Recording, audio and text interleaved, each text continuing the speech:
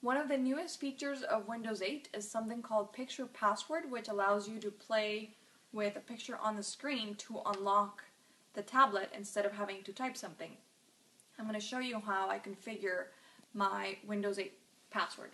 So you can go into your account picture and then we're going to go under users and create a picture password.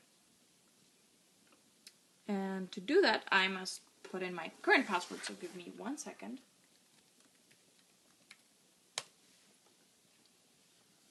And I'm going to choose a picture, and I only have one in here.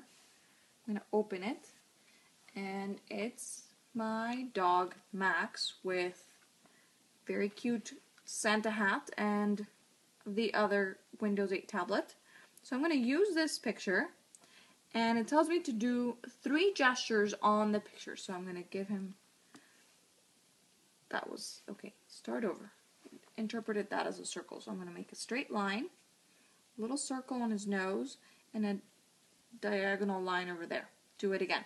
Straight line, little circle on his nose, and a diagonal line there. And I'm done. So now, whenever I lock the device, I can sign back in that way. So it's going to display the picture of Max and I just have to do those three gestures. Let's do line, circle, line, and you're back in.